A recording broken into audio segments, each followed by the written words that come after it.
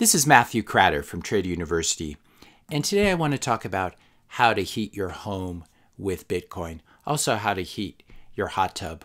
Now, we've talked about Bitcoin's carbon footprint, its energy usage in these previous videos, so I'm just going to link to those Bitcoin and the electricity police, and you can reference those if you're more interested in the carbon electricity side of things.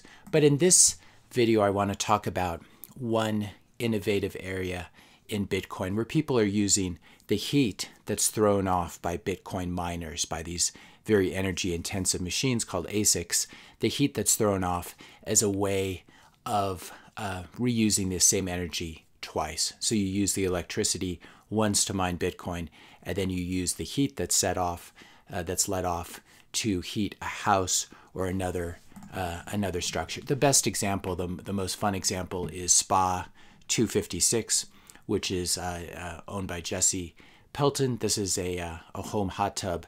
that the play on words, of course, is on SHA 256, which is the Bitcoin mining algorithm. But here he's basically using an ASIC to uh, to heat his home hot tub.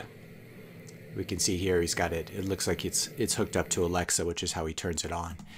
People are doing this, especially in cold climates. There's a great CoinDesk article here about people are using Bitcoin miners to mine Bitcoin in their in their houses and then to heat their their um, their homes in Siberia. There's a company called Hotmine that is providing these mining rigs that also work as home heating appliances. Something similar happening in uh, in Canada, Canada in Quebec. This is in uh, a small on a small farm where they're growing strawberries in the middle of winter. They're growing chickens, they're raising chickens, obviously need to keep the chicken coop at a certain temperature. And so this is another sort of homestead use of Bitcoin miners. This is a very interesting, um, interesting company that teaches you how to do container farming, where you can uh, grow food really in any location. And these are obviously these containers, these shipping containers are stackable. And this is also uh, quite often how Bitcoin miners are packaged. So there's some nice synergies that could be had here between using uh, one of these storage containers where the food, the vegetables are actually grown uh, hydroponically, so you don't need any soil, and then the heat uh, could be provided by Bitcoin miners. Another company in Canada called Mint Green, and they are using, uh, they're collaborating with two companies one, the Vancouver Island Sea Salt Company. This is an example. People always talk about how Bitcoin is boiling the oceans. Here's an example where they're literally boiling the oceans to drive off. Uh, obviously, they just take some salt water and they uh, they boil off all the water to end up with the salt using the heat from Bitcoin miners.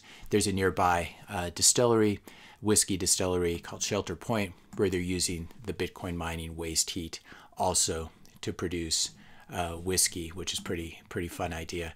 Uh, Genesis Mining out of Sweden, they're doing something similar to what we saw, where they're redirecting the heat into uh, the, the waste heat from Bitcoin miners into a greenhouse, using it to grow vegetables and fruit in a cold northern climate. This is obviously important for uh, food uh, self sufficiency.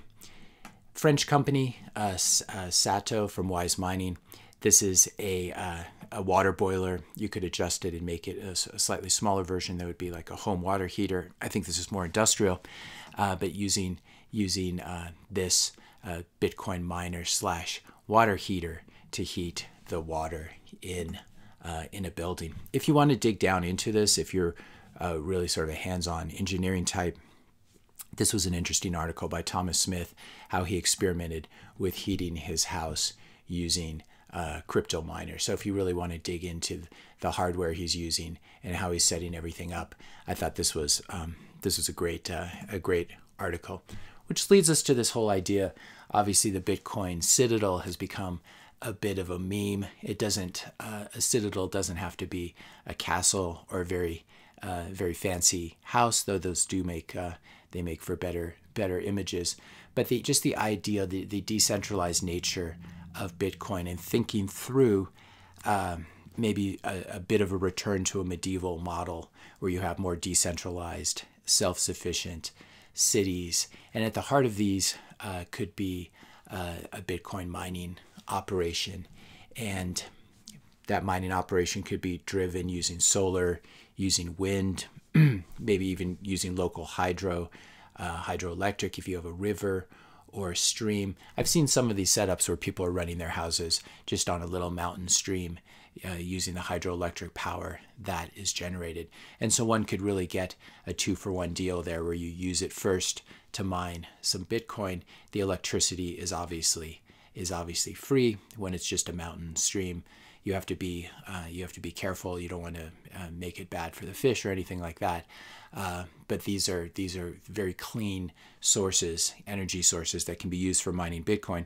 And what people often miss is that Bitcoin miners are in an arms race to find the cheapest electricity. They don't want to use um, they don't want to use very expensive uh, electricity. So this really does create a lot of innovation in the energy space as well. And so you can imagine these Bitcoin communities decentralized, self-sufficient mining Bitcoin and also using the heat from the miners to provide hot water for the for the house or for the community, indoor heating, and also greenhouse heat to grow food. I think this is one thing I, I like about the whole Bitcoin space, this idea of self-sufficiency, decentralization. And when you contrast it with the current fiat system, which is everything is centralized and tries to make itself more and more centralized, you have the uh, central banks controlling money. You have very centralized utilities that are often burning very uh, dirty fuels like uh, coal, for example. This is a coal plant in the UK that's being phased out. But the fiat system tends towards centralization simply because the banking system, obviously, the large utility companies are highly dependent on um, are highly dependent on fiat billionaires like Warren Buffett. They're highly dependent on uh, on government regulators as well. So this is this is sort of your your brain on fiat. This is your brain, um, and obviously here's uh, here's Berkshire Hathaway Energy serving uh, uh, electricity, natural gas across all these different states. And I think this is another reason that fiat billionaires don't like Bitcoin. They don't like this idea of a completely decentralized, self-sufficient future.